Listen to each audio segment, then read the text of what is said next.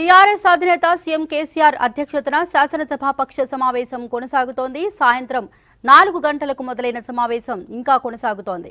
వరిధాన్యం కొనుగోలు కేంద్ర ప్రభుత్వం అనుసరిస్తున్న ద్వంద్వ వైఖరిపై సుదీర్ఘంగా చర్చిస్తున్నారు. అదేవిధంగా రైతులను ప్రజలను బీజేపీ అయోమయానికి గురి చేస్తున్న తీరుతెన్నులపై చర్చించి భవిష్యత్ కార్యాచరణను రూపొందించనున్నారు. కేంద్రం తెలంగాణకు చేస్తున్న అన్యాయం రాష్ట్ర బీజేపీ అనుసరిస్తున్న విధానాలు విపక్షాల ప్రచారాన్ని ఎలా తిప్పికొట్టాలనే విషయాలపై ఎమ్మెల్యేలు ఎమ్మెల్సీలకు కేసీఆర్ దిశానిర్దేశం చేస్తున్నారు.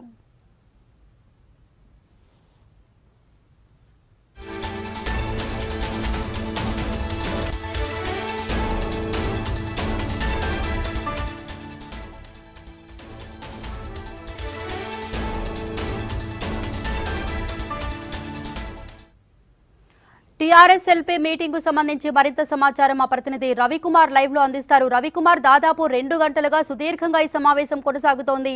సో ఈ నేపథ్యంలో ఏ అంశాలపై కీలక నిర్ణయాలు వెలువడబోతున్నాయి? ఏం జరుగుతోంది?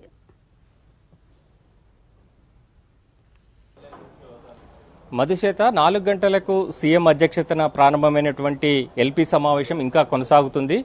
ప్రధానంగా వరి కొనుగోలు విషయంలో కేంద్రంపై ఎలాంటి ఒత్తిడి తేవాలనే దానిపైనే చర్చగా జరుగు- సాగుతుంది రాబోయే రోజుల్లో ఎలాంటి విధానంతో ముందుకు వెళ్ళాలి? ముఖ్యంగా వరి కొనుగోలు విషయంలో పంజాబ్కు ఒక న్యాయం అదేవిధంగా తెలంగాణకు ఒక న్యాయం వ్యవహరిస్తుందని చెప్పేసి కేంద్రంపై ఇప్పటికే టీఆర్ఎస్ ప్రభుత్వం ఆరోపిస్తున్నటువంటి నేపథ్యంలో ఇక రాబోయే రోజుల్లో ఎలాంటి విధానంతో తమ యొక్క నిరసనను తెలపాలి అనేది ఈ ఎల్పీ సమావేశంలో డిసైడ్ చేయనున్నారు. ఎల్పీ సమావేశం తర్వాత సీఎం కేసీఆర్ స్వయంగా ప్రెస్ కాన్ఫరెన్స్లో కార్యాచరణను ప్రకటించనున్నారు. ముఖ్యంగా గత రెండు మూడు రోజుల క్రితం వరకు చూసినట్టయితే వరి కొనుగోలు విషయంలో కేంద్రంపై టీఆర్ఎస్ ఆరోపణలు చేసింది. ముఖ్యంగా కేంద్రం యాసంగి పంటకి సంబంధించినటువంటి ధాన్యంను కొనుగోలు చేయమని చెప్పి చెప్పడాన్ని విమర్శిస్తూ టీఆర్ఎస్ శ్రేణులు బీజేపీ నేతలపై విమర్శలు చేసినటువంటి పరిస్థితి అదేవిధంగా బీజేపీ నాయకులు కూడా పూర్తి స్థాయిలో ధర్నాకు కూడా దిగారు టీఆర్ఎస్ ప్రభుత్వం కొనుగోలు చేయాలి పూర్తి స్థాయిలో వరి ధాన్యం అంతా కూడా టీఆర్ఎస్ రాష్ట్ర ప్రభుత్వం కొనుగోలు చేయాలని చెప్పేసి కూడా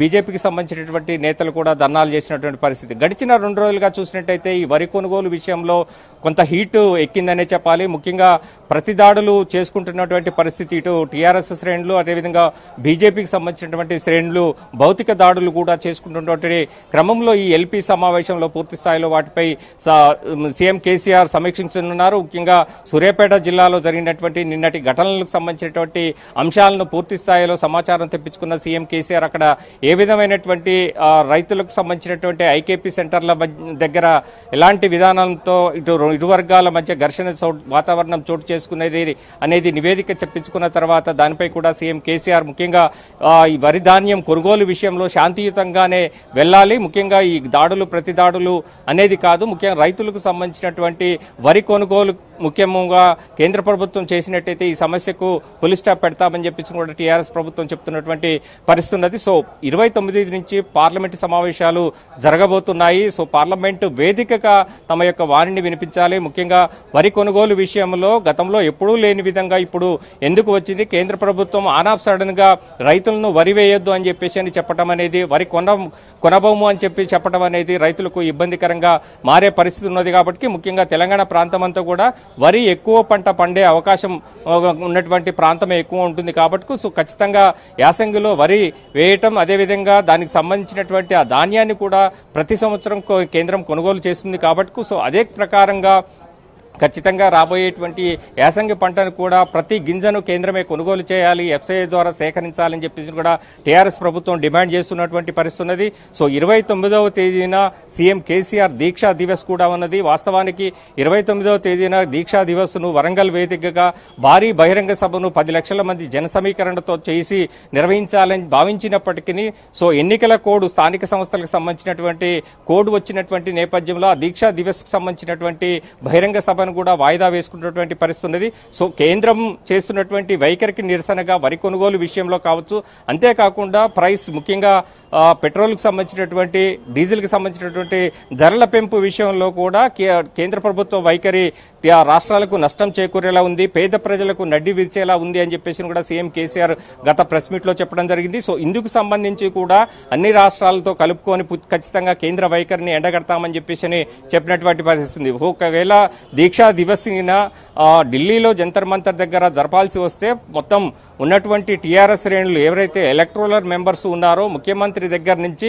కింది స్థాయి వరకు ఉన్నటువంటి గ్రామ స్థాయి వరకు ఉన్నటువంటి ఎలక్ట్రోలర్ మెంబర్స్ అంతా కూడా ఢిల్లీకి తీసుకెళ్ళి అక్కడ నిరసనను తెలియజేస్తే ఏ విధంగా ఉంటుంది అని చెప్పేసి సీఎం కేసీఆర్ ఈ టీఆర్ఎస్ సంబంధించినటువంటి ఎమ్మెల్యేలు ఎమ్మెల్సీల నుంచి ఫీడ్బ్యాక్ తీసుకుంటున్నటువంటి పరిస్థితి ఉన్నది. ఒకవేళ అలాంటి పరిస్థితి అలాంటి ధర్నాగినా చేయాలి అంటే ఖచ్చితంగా అక్కడ సక్సెస్ అయ్యే విధంగా ప్రణాళికతో ముందుకు వెళ్ళాలి. ఆయా నియోజకవర్గాల్లో ఉన్నటువంటి ప్రజాప్రతినిధులంతా కూడా ఢిల్లీకి చేరుకునేలా కార్యాచరణ రూపొందించుకోవాలని చెప్పేసి కూడా సీఎం కేసీఆర్ ప్రణాళికలు వేస్తున్నటువంటి పరిస్థితి ఉన్నది. సో ఏది ఏమైనా వరి కొనుగోలు విషయంలో మొదట మాటల మాటల దాడి రెండు పార్టీల మధ్య జరిగింది.